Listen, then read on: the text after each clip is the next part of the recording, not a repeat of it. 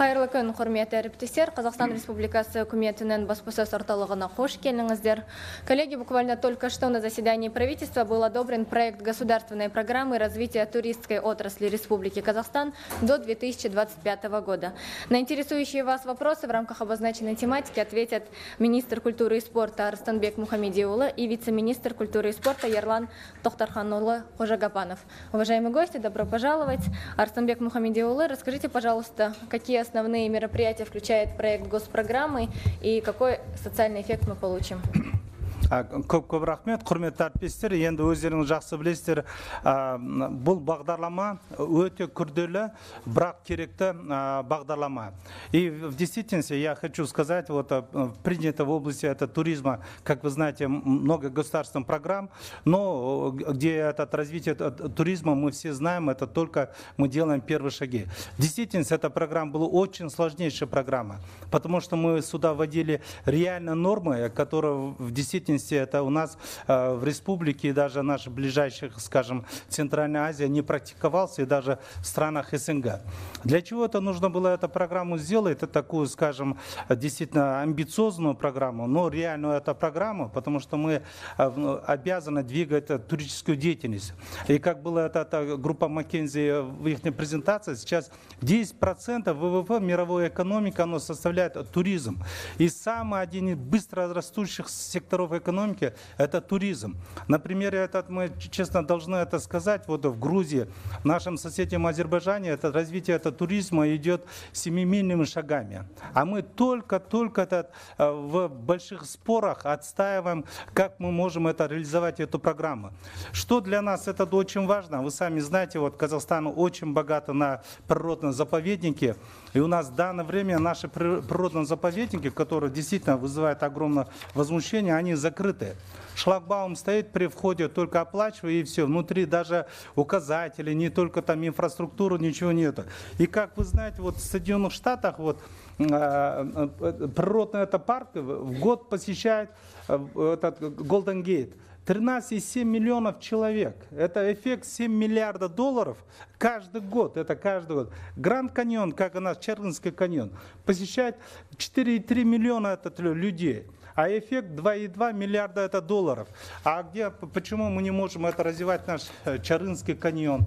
Наш Чарынский каньон, это мы, этот, э, наши коллеги с Америки э, приезжали, чтобы локацию посмотреть в рамках нового закона о кино, они вообще были удивлены во много раз это, как масштабнее, эффективнее и интереснее. И, конечно, наша задача, вот благодаря этой госпрограмме, мы сейчас должны там создавать управляющие компании и целиком открывать для туристов. Это что даст в первую очередь? Это, конечно, это даст для сохранение этих природных зон. Это потому что при умелом управлении, а, это, конечно, деньги будут направляться для более привлекательности этих парков. И это, конечно, второй этот наш а, важный момент, это наши особо охраняемые природные э, зоны. Они находятся для нашего блага, особенно в сельской местности. Шалкар, Шалкар и Монтауская курортная зона, это в северном, это в Казахстане, природный заповедник. Вот недавно было это у нас выступление Акима Павлодарской области, он говорит, Баянаул, мы не можем это, привлечь туристов. Закрыли охрану зона и все. Это, конечно, аргументирует, что это необходимо сохранять природу, там, животный мир. А мировая эта практика показывает, наоборот, благодаря этим мерам, и этот краснокнижные животные, они во много раз эффективнее этот, э, развиваются, нежели тем, что браконьерские, которые мы сейчас имеем. Что Влад... такие закрытые зоны? Не, никакого. Спасибо большое. Давайте Я мы перейдем к вопросам. Да. У, нас, у нас журналисты уже ждут. Пожалуйста, Лейла Тостанова, газета «Время». Давайте. Здравствуйте. Скажите, пожалуйста, почему э, группа Маккензи определяет для Казахстана 10 э, дестинаций? А, мы сами не можем это сделать. И, кстати, какие это дестинации? Ну, а, Второй вот. вопрос. А, вы говорили о том, что с иностранных туристов будут э, взимать, ну, я так поняла, налог 2,5 доллара за сутки. Скажите, для чего это и каким образом это будет организовано? Не оттолкнет ли это туристов? И третий вопрос. Давайте мы пока да. на первые два ответим. На два. Я с удовольствием отвечу. Мы это топ 10 э, дестинаций определили мы. Определили мы, это наше а, министерство. Да, это почему этот, мы действительно взяли этот, э, основные э, э, драйверы, которые необходимы. И мы впервые программу презентовали в прошлом году, 9 мая, в Алакуле с участием главы государства. Тогда мы обозначили, что нам необходимо не распыляться, а взять топ-10 это дестинации, и в первую очередь двигать их, а потом и, конечно, другие зоны. Мы этот секрет нет. Когда доклады на правительство делаем, мы разделяемся. Кто этот, скажем, основные вопросы, кто дополнительные вопросы. Если это, скажем, группа Маккензи, мы с ними совместно работаем, потому что всегда нужна независимая оценка реальная независимая оценка. Мы, конечно, можем написать, что это по нашим показателям, а McKinsey, они дают реальную оценку. И поэтому этот, я могу, вам уверенно сказать, что топ-10 дестинаций определяли мы. Второй момент, BTAX. Это мировой опыт. Смотрите, бетакс, и оно подходит дифференцированно. А мы этого вводим его для бизнеса, скажем, э, для деловых туристов которые это приезжают Алматы, Астана. Один номер, условно скажем, 350-500 долларов. И из них 2 доллара включается, и никто и не заметит. Нам это необходимо. Это весь мир. И Соединенные Штаты, Турция, все европейские страны вводят эту норму. А как раз вот это 2-4 доллара, маленькая сумма, оно идет на развитие этого туризма. Что мы сейчас имеем, это, это конечно, мы все программы для его это, реализации, для его, скажем, разработки, деньги берем из бюджета. Наша задача, наоборот, отходить от бюджетных денег, переходить на рыночные условия. И это очень хороший мировой опыт. Второе, конечно, мы как заинтересованный орган сейчас будем более это, интенсивно заниматься привлечением туристов, чтобы этот бетак стал еще больше. Если мы нам бюджетные деньги сидим, это, конечно, нам бы так ничего не нужно. Ну, приехали туристы, приехали или нет. А когда уже переходим на самоокупаемость, конечно, будем больше работать, чтобы иностранных туристов было больше и поступление бетакса поступало. Сейчас есть э, момент. Конечно, оно вводится, опять я подчеркиваю, для бизнеса, это делового туризма. Те, которые, скажем, отдыхают условно там Алакуле или в Боровом, конечно, туда не вводится. Если, скажем, с России это туристы приехали с пятью, а, как состав семьи, с детьми, для них, если они живут это там э, в номере 100 долларов, и с каждого изымать ежедневно по 2 доллара, 10 долларов в течение 10 дней 100 долларов, а это ощутимо. Мы этих туристов не трогаем. Только те, которые приезжают на большие событийные мероприятия, только на больших это гостиницах. А, вспомнила третий. Вот вы сказали, что 22 тысячи э, туристов из Китая хотите привлекать. Это на какой нет, период? Нет, э, нет? нет, это не из Китая. Я вас очень прошу, вот всегда мы даем неправильную информацию, а потом уже исправляем. Это у нас 22 это тысячи туристов, эти были это 18 год с Китая и Индии. Основной это поток был с Индии, это туристы. Это посетили уже, получается? Да, это, он, мы сделали 72-часовой безвизовый, это транзитный. Наша задача, чтобы наш аэропорт, Казахстан стал э, таким авиационным хабом, как Стамбул, Лондон, Дубай. Почему мы не можем? Наша задача ну, побольше открывать. Что такое транзитные туристы? Это те, которые, скажем, с Дели приезжают в Алматы, с Алматы далее улетают в Франкфурт, в другие это направления. И чтобы хотя бы за 72-часовой он посмотрел, посмотрел город, э, мы даем такую возможность. Сейчас вы это посмотрите, пожалуйста, мы хотим еще на больше шаг идти, а, потому что это индусские это туристы больше интересуются уже этот как горно-лыжный спорт, потому что у них снега нет, им очень интересно этот а, Алматы. Точно так же основной это поток идет в Астану, потому что быстро развивающий этот город, деловой город, это интересно. А Индия это население миллиард э, жителей, вы прекрасно знаете. У нас, наоборот, большое затруднение от туристов с Китая, потому что они не так активно пользуются, которые 72 часов. А основной поток, конечно, идет с Индии. И касательно туристских дестинаций, могли бы вы озвучить, коллега просил? Туристские дестинации, 10 А, направлений. ол- ол да енді қазақша мен айтып берейін біз негізгілерін алдық әрине ол бізге ең бірінші біздің дамытатымыз алматы облысындағы тау шаңғысымен былайша айтқанда ә, неге сол бағытқа арналған ә, туризмді. Қазір біз нені біліп жатырмыз? Білесіздер шымбұлақта адам көп өте көп. Шымбұлақтың қасында табаған бар. Оның қасында қазір это лесная сказка деген ә, жаңадан жерден тағы да тағы шаңға арналған. Ақбұлақ бар талғар ауданында. Соның біздің мақсатымыз бәрін бір былайша айтқанда бугелмен канатный дорогамен біріктіруіміз керек. Сонда мысалы келген адамдар бізде қалай шымбұлаққа бару үшін қазір бүкіл қаланың ортасынан өтіп медеуге барып медеуден шымбұлаққа жетеді. А қазір келген адам аэропорттан ә, неге ә, табаған? Ол не это горный садовод қазір. А, бесқайнар деген бесқайнар деген қазіргі аты аэропорттан алыс емес бір 10 километр ма? Сол жерге барып ол жерде отель барлығы бар. Немесе ақбұлаққа барады талғар ауданында. Ол жерде барлығы бар. Орналасады канатный жолға отырады дағы пожалуйста чымбұлаққа барады табағанға барады бүкіл дүние жүзіндегіде қазір өздеріңіз байқасаңыздар қазір ә, тау шаңғысына әсіресе оңтүстік кореядан ә, европадан өте көп алматыға келеді. Бізде алматыда бір керемет жері тау біздің это былайша айтқанда жұмақ.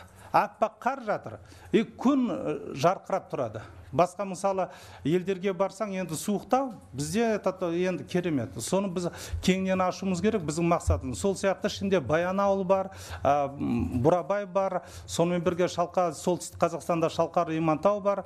И негізгі мақсаттың біреусі әрине біз каспий теңізін қазір міндетті түрде жылдам іске қосуымыз керек. Ну ту- туризмға байланысты. Жауабыңызға көп рахмет. Следующий вопрос, пожалуйста, Айгерим Здравствуйте, Кушева. Айгерим Тукушева, информбюро. У меня вопрос, вот он связан с критикой, которая озвучивается в социальных сетях о подсчете иностранных туристов. Э, В 2018 году была официальная информация о том, что 8,5 миллионов иностранных туристов посетили Казахстан.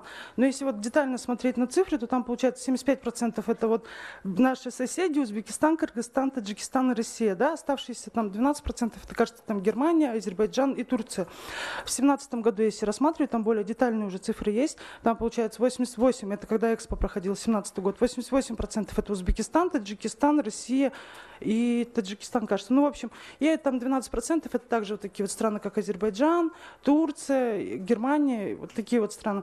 Если э, вычесть те страны, с которыми у Казахстана есть общая граница, то там получается всего лишь 800 тысяч. Если убрать э, жителей стран из СНГ, то 600 тысяч. А если смотреть уже по статистике въезда, к примеру, да, когда иностранец пересекает границу, он отмечает цели въезда. Там есть графа туризм. Там всего лишь 81 тысяча за 17 год. Это меньше одного, ой, чуть больше одного процента от озвученной цифры. Вот э, как вы считаете, правильно ли считать э, жителей Узбекистана, Кыргызстана, Таджикистана туристами в нашей стране? Очень правы. Вот мы на слайде взяли реальную цифру. Как вы сказали, мы могли бы написать вот 8,5 посещают. У нас написано да, 2 миллиона иностранных туристов. Мы сознательно вот не берем эти цифры. Конечно, для нас было бы удобно а, показать, какие мы молодцы, министерство. 8,5 миллионов это туристов нас посещает. И, конечно, тех, скажем, кто трудовую иммиграцию через Узбекистан, Кыргызстан проходит через Казахстан в Россию, в другие страны, мы их не включаем. И точно так же мы не включаем этот, э, те у нас в Харгосе есть свободная экономическая торговая зона, где посещает 25, э, ну это свобода, 25 тысяч. Если мы бы сейчас эти цифры показали, мы бы сказали бы, а впереди всей планеты мы Казахстан. Конечно, это был бы неверный шаг, и поэтому мы поставили вот реально 2 миллиона человек. 2 миллиона человек, я вам а, могу смело сказать, в прошлом году только Алакуле это посетили а, миллион от это, туристов, из них 30% это только были российские туристы. И 2 миллиона это реальная цифра в год. Скажите, пожалуйста, вот эти 2,5 миллиона за 18 или за 17 да, год, вы сказали, как их вы их посчитали? Какую, какие данные вы брали? Въезд, выезд, что? А, Смотрите, у нас есть четкий учет вот о пограничной службе, который этот вес они отмечают. И они все данные нам дают, статистические данные нам дают. Конечно, мы из них вычленяем те, это, которые э, трудовой поток через Казахстан, а реально, которые это, это приехали. И 2 миллиона, я вам скажу, это очень реальные цифры. Если хотя бы, если грубо взять, если а, те, это, которые воспользуются 72-часовой а, транзитом, 22 миллиона, 22 тысячи. Если на Лакуле этот за лето было из миллиона 300 тысяч, и это, представьте, Боровой, если всех деловой, алматинский составит, то, конечно, 2 миллиона – это реальная цифра. Спасибо большое.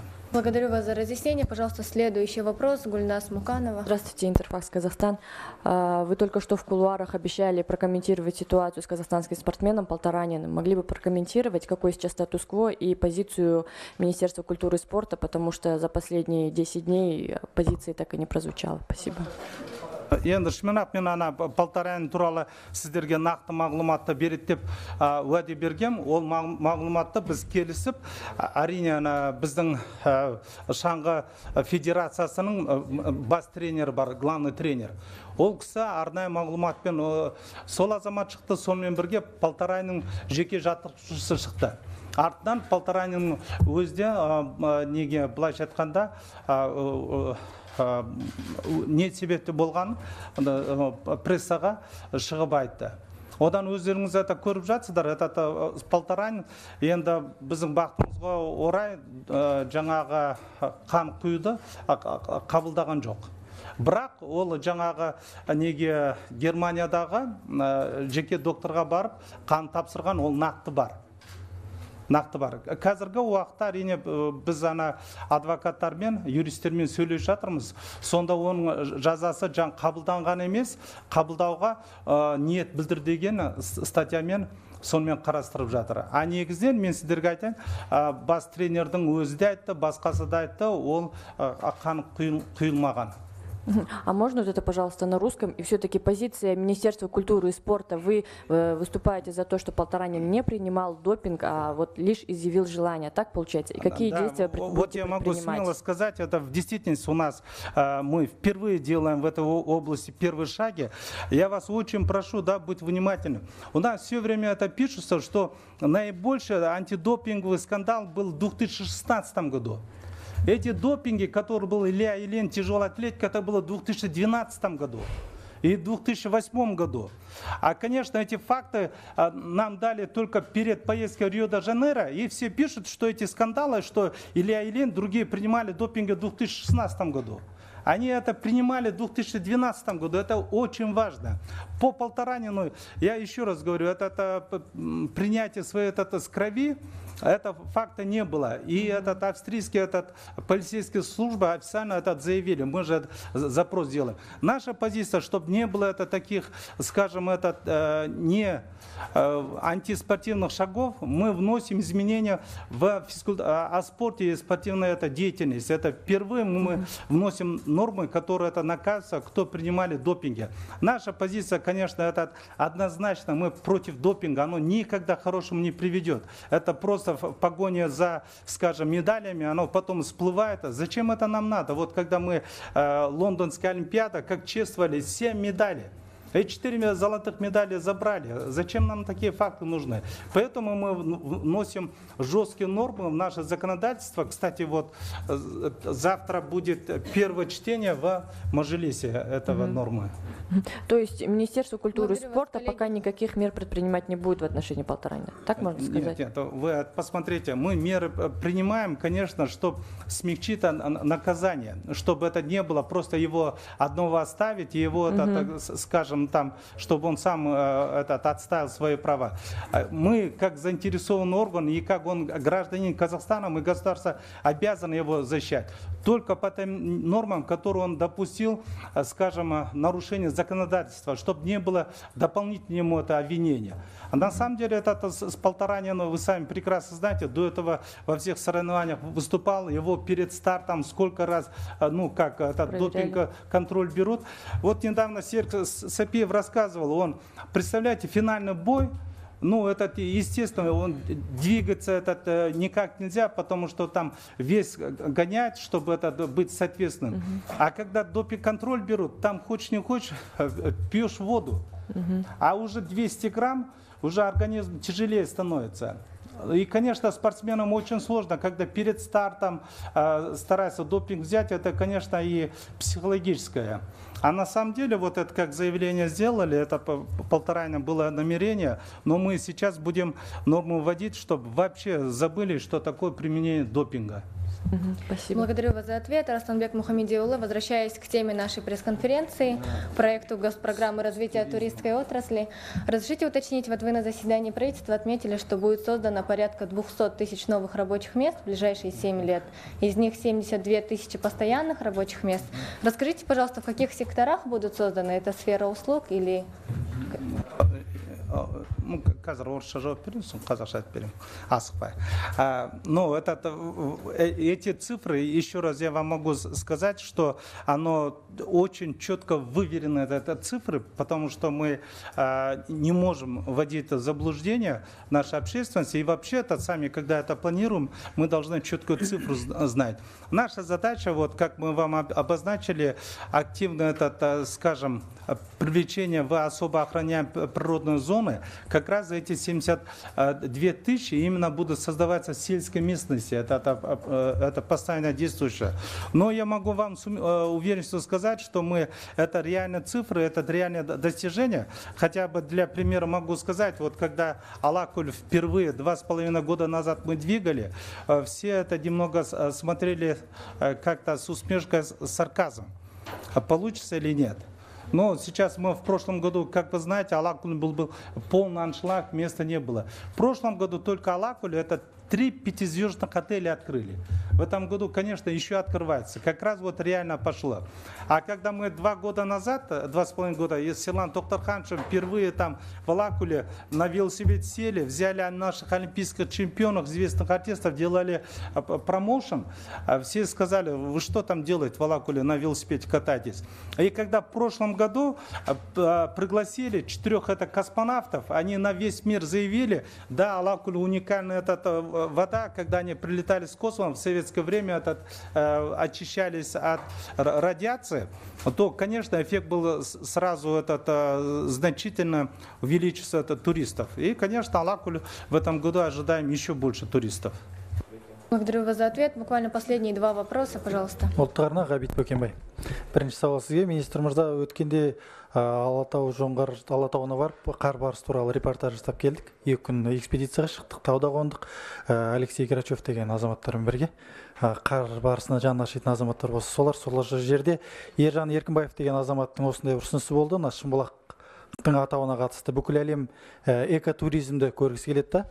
Ә, сол жерде мына шымбұлақтың атын ә, царство снежного барса деп өзгертейік. Қар барысының ә, патшалығы деп өзгертсек олардан ә, ареал обитания қар барысын көру үшін туристер одан да көп келуші еді деген бір сауал. Ол бір. Екінші сауал ерлан ә, мырза сізге? Ә, сіз өткенде шақырып ә, дәретхана мәселесін айтқан едіңіз. Жылы дәретханалар қолайлы дәретханалар мәселесі. Ол мәселе орнынан қозғалды ма қанша дәретхана салынды? Ә, бағасы 500 теңге болады деп едіңіз. Сол төңіректі айтып берсеңіз Сұрақтарыңызға Ерлан рахмет. Тоқтархан же в истории останется как автор туалетизации страны. кезек кезекпен алдымен сіз жауап берсеңіз ана жоқ ана жоқ жоқ ана Мұхамедиұлы. бірінші дәртқа ана атын өзгерту туралы шын айтқанда ол ой өте жақсы бірақ шымбұлақ емес бізде одан басқа да жерлер бар ғой мысалы қар барысы талғар жақта да түрген жақта да асы жайлауында бар. Ә, ар- ары қарай мысалы ә, неге? Ә, хан теңірі сол жақта да бар. Сол жақтан да ат табуға болады. Енді қазір шымбұлақ ол ә, халықаралық бренд. Сол үшін жаңа сіз айтқан ойыңыз өте дұрыс. Қа- қар барысы әлемін. Қазір біз ә, неге ақбұлаққа қарай жылжытамыз ғой? Сол жерде берейік жаңадан атты ой өте дұрыс. Ерлан Тоқтарханұлы. Былтыр біз ә, осы дәретханаларды салу жөнінен біраз көтердік мәселені. Ә, бүгінгі таңда ә, бізде жеке инвестор бар. Осы бағдарламаға өз үлесін қосам деп жүрген. Осы мемлекеттік бағдарламада біз осы туалет дәрет мәселені арнайы көтеріп отырмыз. Бір блогы бар соған арналған. Осы 10 ең дамыған дамытатын туристік ә, орындарда біз ә, мың дәретхана саламыз. Ол дәретханалар неміс технологиялар бойынша жасалған. Бір, э, бір дәретхананың бағасы э, қазір белгіленіп отыр қарастырып отырмыз. Э, қарастырып отырмыз. Қазавтожол ұлттық компаниясы қосады өз үлесін. Ә, сосын жаңа мен айтып кеткен ә, жеке меншік ә, инвестор келеді өз ақшаны салам деп, деп жүрген. Және де ә, мен спк қай қай саладан ә, өз үлесін қосам деген ә, компанияны берем десе солар да қосылады. Екінші мәселе ол бұл дәретханаларды жыл сайын жыл бойы ә, содержаниялары оны да біз бөлек қарап жатырмыз Ә, инвестициялар инфрақұрылым министрлігімен ә, бүгінгі таңда ә, бағалардың бәрін расчеттарын жасап жатырмыз. Құдай қаласа осы екі үш екі үш жұманың ішінде сізге баяндаймыз. Бірақ жалпы осы ә, мемлекеттік бағдарламаны ә, орындау мақсатында 220 2025 жылға дейін осы дәретханалар мәселесі шешіледі толық шешіледі деп сенудеміз. Нақтылап айтып берейін. Ерлан тоқтарханович айтып жатқаны дәретханаларда инвестор өз ақшасын алады. Өз ақшасы. Біз мемлекет тек қана соны былайша айтқанда қолданысқа беруге қаражат жұмсаймыз. Енді мысалы суын алып келу керек жаңағы соны тазартатын азаматтардың айлықтары тек қана соған. Оны өздеріңіз білесіздер біз көп көп рахмет айтқымыз келеді. Мұхтар тайжан азамат марғұлан сейсенбаева азаматтар көтеріп жатыр. Сол азаматтардың тарапынан инвесторлар бар. Бүкіл жаңағы керекті европалық үлгідегі ол ы, өте керемет өз қаражаттарын алып келеді жауабыңызға көп рахмет келесі сұрақ У меня вопрос, сколько необходимо средств для реализации программы по туризму? И Минфин уже одобрил выделение бюджета. Все средства будут выделяться из бюджета или привлекаться инвесторов? Спасибо. Я с удовольствием отвечу на этот вопрос, потому что всех интересует это финансовые средства. Чего складываются финансовые средства? На министерство с бюджета э, на э, эти цели деньги не выделяются. Инфраструктуру состоит это Министерство э, инфраструктурного развития, они этот, э, делают дорогу до туристической дестинации. Министерство энергетики, обеспечение там э, электричеством с газом, это у них программа заложена. А Мы, министерство, с бюджета деньги не берем. Только мы следим, чтобы эту инфраструктуру государство обеспечивало. Наша задача – привлечение инвесторов. Уже строительство отелей, зона отдыха и те, те, это, конечно, привлечение это частный сектор, это инвестора. С государственного счет ни одной гостиницы не будет строиться. И поэтому здесь сумма, сказать, что мы, министерство, на эти цели будем это тратить такие суммы, а, оно не обосновано. Только те министерства.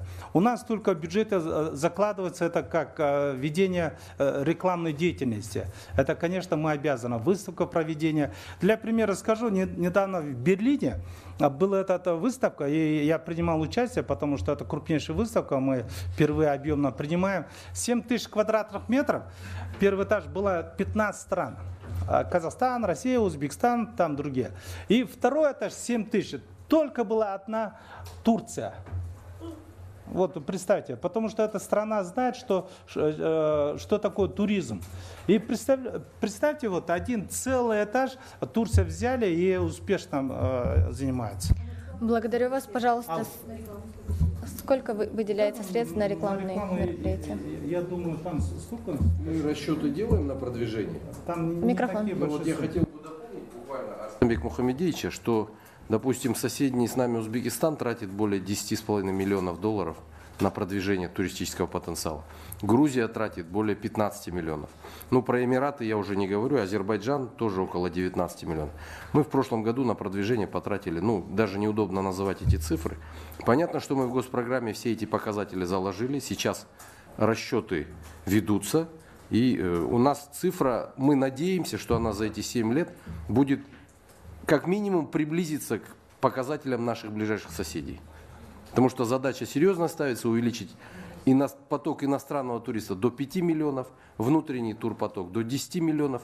Это все требует того, чтобы люди знали о нашей стране, в том числе и наши граждане знали на Западе о том, что какие достопримечательности есть на юге, на Западе, чтобы знали, что есть на Востоке. Это все нужно продвигать через радио, телевидение, рекламу, э, блогеров и так далее.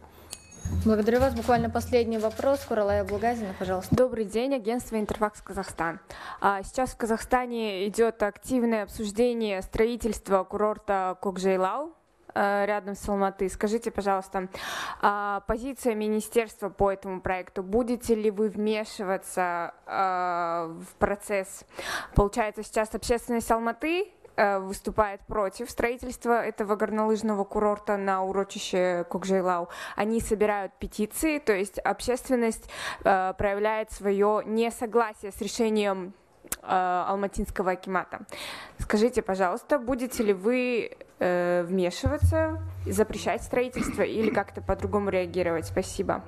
Мы, министерство, определяем стратегическое на- направление. А, По, э, это, конечно, что вопрос это поднимаете, есть э, порядок и деятельность местных исполнительных органов. Мы, министерство, не имеем права вмешиваться в деятельность местных исполнительных органов. Например, вот как вы говорите, Кукжаляу другой. Точно так же, если в Северном Казахстане Шалкар и Мантауский регион, да, а это, конечно, это должен заниматься Акимат. Где, в каких дестинациях это, конечно, развивать. Мы только стратегически определяем э, ценность, и это введение, это как подведение инфраструктуры. А как это, в каком месте именно точка, это прерогатива места исполнительных органов. И поэтому, знаете, с нашей стороны было бы очень некорректно, скажем, а, вмешиваться в деятельность местных исполнительных органов. Мы оп- определяем стратегически, скажем, Алматинский этот а, горный кластер или а, а, развитие Алакуль, а, Балхаш. Если мы будем разделять Балхаш, где Карагандинская область, чем они должны заниматься, где Алматинская область занимается, то, конечно, это будет очень законодательно неправильно. Этот курорт входит в госпрограмму развития туристской отрасли до 2025 года или нет? Мы сейчас, э, как вы видели это на схеме, мы целиком определяем, э, скажем, местность. Алматинский горный кластер. А вот именно это по точкам уже, где будет или Кокжаляу, или э, это будет, скажем, Ой Карагай или Еликтысай, то это только определяют местные исполнительные органы. М, Спасибо. Арстанбек Мухамедиулы, уважаемые гости, благодарю вас за разъяснение ключевых вопросов. Уважаемые коллеги, благодарю вас за активное участие. На этом время нашей работы подошло к концу. Благодарим всех за внимание.